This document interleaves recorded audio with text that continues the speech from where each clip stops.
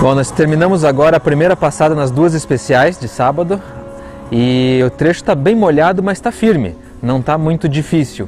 É, vamos torcer que pare de chover para o trecho secar e daí ficar um pouco mais é, parelho o, o, roteiro inteiro.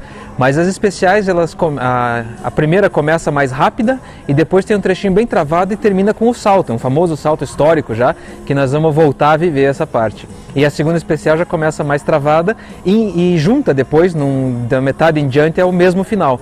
Então nós vamos ter chance de aprender bem a andar nela para passar no salto lá seis vezes e uma hora nós temos que acertar.